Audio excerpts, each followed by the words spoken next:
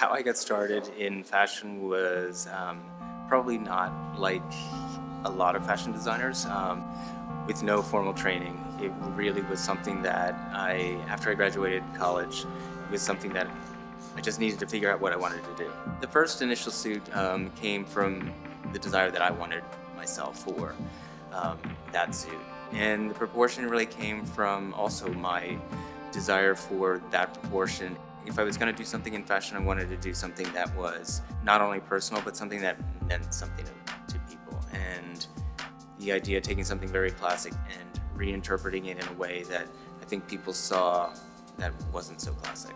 I find individuality in um, uniformity. And the idea that somebody can actually adopt a uniform for themselves, I think there's there's such a confidence in that uniform. It is something that I draw on and I reference all the time because because of that confidence, I use uh, school kids uniforms, work uniforms, military uniforms I've used in the past too. In a way, it's interesting to people too because it's it's something that's understandable.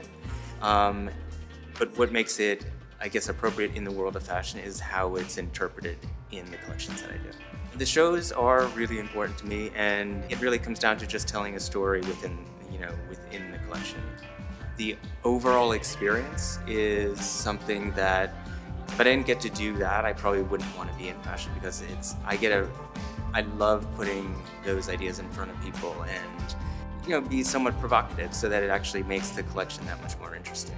The, the show in Florence um, was important because it was my first show in Europe, and I thought since it's my first show in Europe, I wanted to really introduce the the overall essence and the basic um, idea of what I wanted to do in fashion. Introducing a, a, a classic man's uniform in a new way, and also to the strength in multiplying that. I think for me, the uniform idea is more just people figuring out what, what is best for them and, and almost having the confidence that that doesn't have to change.